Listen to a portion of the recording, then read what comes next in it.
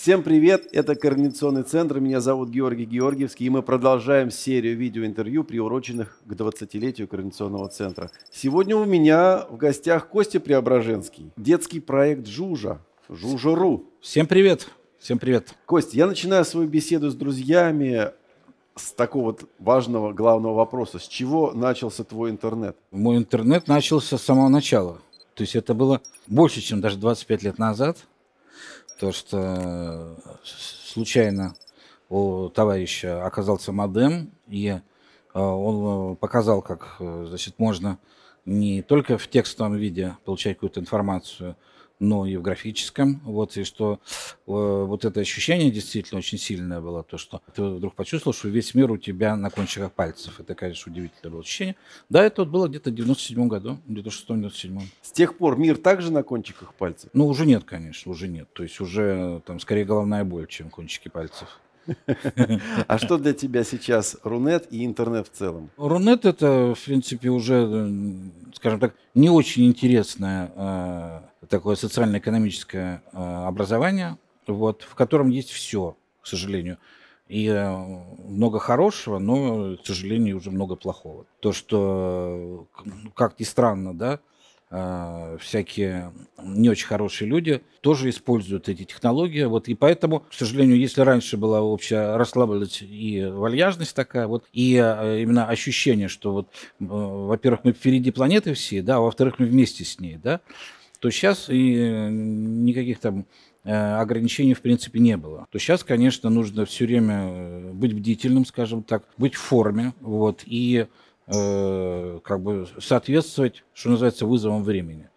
Вот. Но с другой стороны, конечно, что э, очень приятно создавать, вот, сознавать то, что если бы не то, что мы построили, да, то к чему 25 лет, это как раз я думаю, что это и спасло, в принципе, наш интернет, что Э, большие дяди как бы делили там страну и дальше, да, и это ну, песочница, ну, типа, возитесь и возитесь, да, и вот то, что из него действительно выросло такое свободное, достаточно, свободные проекты, да, свобод, свободная индустрия такая, да, которая развивалась, ну, независимо ни от чего, да, и, соответственно, вот сейчас, когда случилась эта беда э, с коронавирусом, да, я не знаю, то есть, что случилось бы с страной, если бы не было интернета. Вот просто даже на таком уровне, да, что единственная технология и, в принципе, единственная э, там, э, инфраструктура, которая объединяла страну, да, вот связанность страны, там планировали регионы вообще закрыться, то есть, да, вот, но это все спасло, в том числе страну, и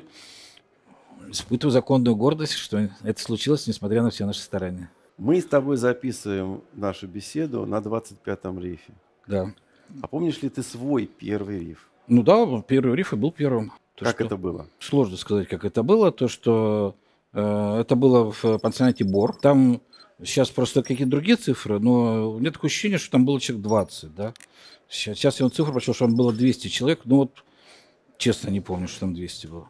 То ли это был нулевой риф, то есть вот э, на котором мы были, то что вот, реально то, что там все сидели в одной комнате за одним столом. А потом меня, да, дочь, которая тоже там сейчас связана с интернет-индустрией, вот она спрашивает, папа, папа, а откуда ты всех знаешь, и тебя откуда все знают, там все, и там, и Волош, и Маринис, там, и даже Жодик Георгиевский, вот, я говорю, ну, просто там действительно все, все 20 человек сидели за одним столом, просто там пожимали друг другу руки и думали, чем нам еще заняться, как бы, что, что будет дальше, да.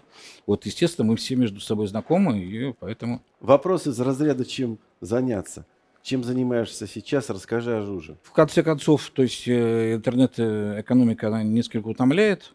Ну, и это действительно стало индустриальным уже моментом, то, что ну, креатива практически нет. То есть там креатив в чем-то в другом, да. И э, вот э, друзья предложили помочь им с таким богодным проектом с детскими сказками, вот, который называется детский сказочный сериал «Жужа». Вот он сериал такой интегрированный, то, что а, мульти, как раньше говорили, мультимедийный, но сейчас как-то э, это сейчас все мультимедийное по принципу. Вот поэтому, может, и потребовалась моя помощь, то, что он выходит.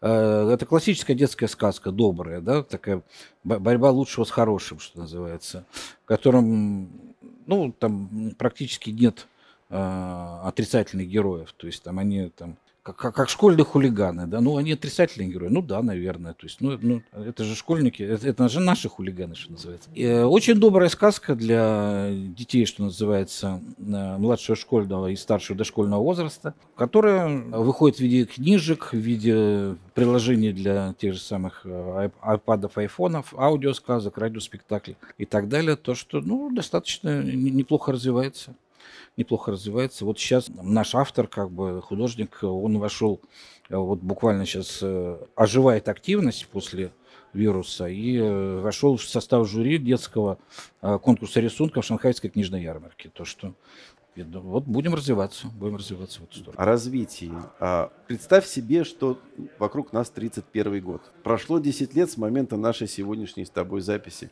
Мы с тобой на рифе 35-м встретились, и осмотрелись вокруг. Какой интернет нас окружает и вообще какой мир нас окружает? Я думаю, интернет уже не будет. А что будет? Какой-нибудь чип в голове, распределенное облако. То есть э, все будут в облаке. В облаке. Вот одно большое облако. Даже, может, и на, на, нас с тобой не будет. Будет как в «Матрице» где-то. Будет «Матрица». В «Матрице». Я думаю, «Матрица» будет точно. Интересно, сравним. Встретимся с тобой через 10 лет. Да. и послушаем твои слова. Хорошо. То есть я, я оптимист, я оптимист. Я понимаю, разделяю вот. твой оптимизм. Скорее всего, действительно, мы будем все в какой-то матрице а, и будем на самом деле даже ближе к друг другу, чем сейчас. Да. Если все не грохнется. То есть 21 вот это. год угу. – это год 20-летия Координационного центра. Что бы ты хотел пожелать Координационному центру и вообще доменной отрасли в целом 20-летия или на какое-то будущее? Доменной отрасли я могу пожелать только одно, что больше доменов хороших и разных. А КЦ – это действительно наша любимая организация, вот, которая, я считаю, что сделала, сделала да, очень много для популяризации, в том числе интернета в нашей стране. То, что я помню все эти наши десанты на кораблях, то есть в лучшем стиле э, и духе Ильфа и Петрова, то, что когда мы ездили по Волге, несколько раз, кстати, да, и несли свет интернета приволжским городам, вот, рассказывая и э, приобщая местное население, так сказать, ну, реально то, что там же все, студенты сбегались, если ты помнишь, все-все-все-все продвинутые люди на эти корабли посмотреть, просто чтобы приобщиться и понять, что это такое. Я думаю, то, что, опять же, в 21 раз скажу, что то, что вот это э, интернет позволил сохранить связанность страны, вот то, что люди знали, что это, как бы, и умели им пользоваться вот к нашему времени, да, вот к пандемии, это во многом, в том числе и заслуга э, усилий Координационного центра, который вел эту пропаганду интернета и э, обучение, прежде всего, обучение. Да. Значит, будем продолжать? Да, конечно, конечно. Спасибо, Константин. За нами будущее.